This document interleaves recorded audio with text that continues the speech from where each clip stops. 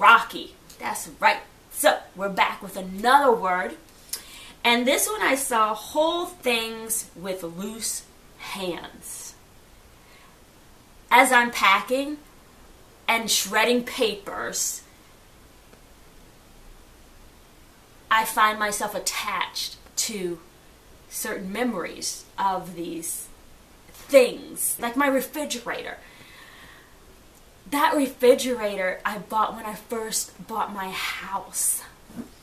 And I still have it from back in 1999. It is, what, 2018. And I still have that fridge, and I only had to fix it once. And that was probably about, I'm going to say about five years ago. So, uh, do they still last that long now? I don't even know. But how amazing is that, right? And I'm thinking, wow, I need to sell that fridge or give it away, something. I can't take it. But yet I find myself feeling like, oh wow, I can't believe it.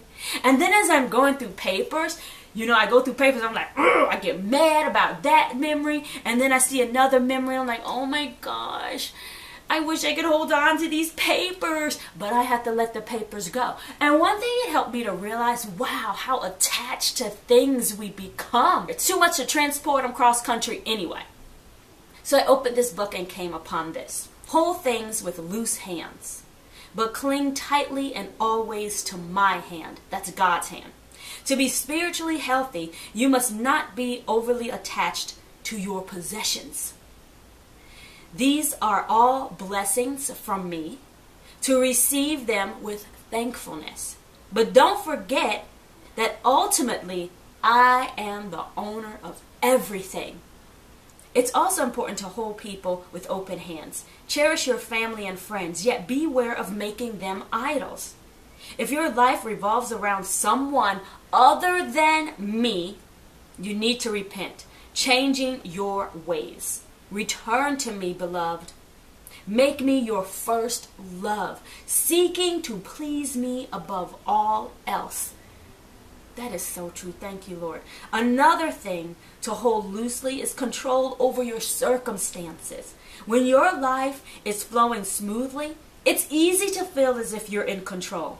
Enjoy these peaceful times, but don't cling to them or think they are the norm. Instead, cling tightly to my hand in good times, in hard times, at all times. Good times are better, and hardship is more bearable when you're trustingly depending on me.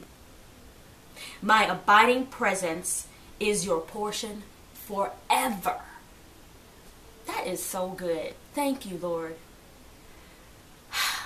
When I read these, I really I really want my heart and my mind to take it in. And I really want to speak these things. I hope that helps you.